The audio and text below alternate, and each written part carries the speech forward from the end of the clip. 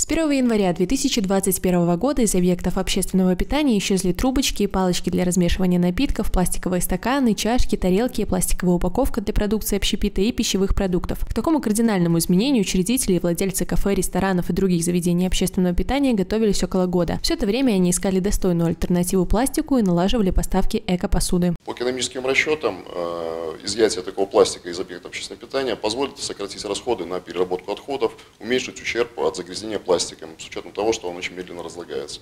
В настоящий день в городе функционирует 78 объектов общественного питания. По имеющейся информации, у них в настоящее время нет э, условий для мытья многоразовой столовой посуды, поэтому они используют посуду разового использования.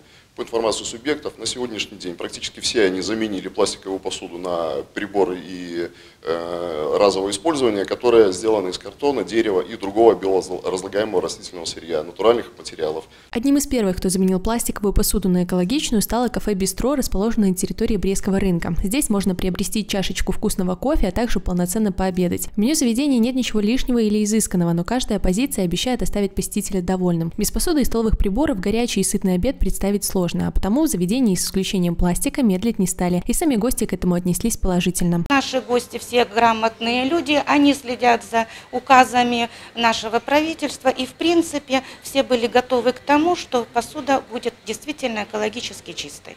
Принципиально э, суммы э, для наших гостей не увеличились при покупке. Ну, конечно, где-то есть такие моменты. Кто-то обращает на это внимание, для кого-то это проходит просто незаметно. Ну и учитывая то, что прошло, в принципе, не так много времени, э, хотя наши гости, в общем-то, никаких таких великого дискомфорта не почувствовали, скажем так. Политика компании KFC с самого начала была сфокусирована на создании и использовании достойной альтернативы пластиковой упаковки, а потому и работали с поставщиками, которые предоставляют экологически разлагаемые материалы. Правда, в заведении использование пластмассовой посуды все же было, но достигало оно порядка 10%. Все вопросы, связанные с упаковочными материалами, которые, согласно вступившему в силу постановлению, нас особо не коснулось, так как мы уже а, с истоков открытия компании работаем 90% на экологически разлагаемых материалах.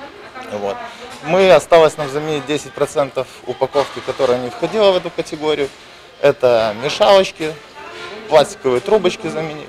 Для того, чтобы достичь цели запрета, сократить объемы пластикового мусора, который не только разлагается сотни лет, но и выделяет отравляющие вещества, потребуется не один год. План отказа от пластика в кафе и столовых Беларуси разделен на несколько этапов. Полный переход на экологически разлагаемые материалы в общепите запланирован на 2023 год.